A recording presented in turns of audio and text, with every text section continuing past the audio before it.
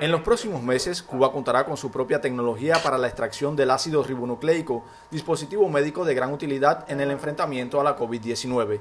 Un paso antes de la realización del PCR en tiempo real es la extracción de ese ARN o ADN para eh, lograr después las pruebas de PCR en tiempo real. En este proyecto laboran sin descanso ocho especialistas de los centros de inmunoensayo, el Centro de Neurociencias de Cuba y Conbiomé o Tecnología Médica Digital, ubicados en la capital cubana y pertenecientes al grupo BioCuba Pharma.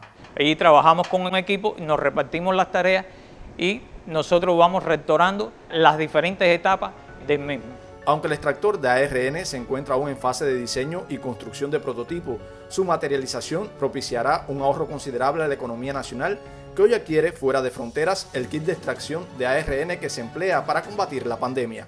Un extractor como el que nosotros estamos realizando en el mercado internacional está alrededor de los 50 mil dólares. Dar mayor soberanía tecnológica al país es el objetivo principal de este proyecto, que además dotará de nuevas oportunidades al sistema de salud pública cubano para la realización de exámenes de biología molecular, estudios de hepatitis y de los diferentes tipos de cáncer a lo largo y ancho de la isla.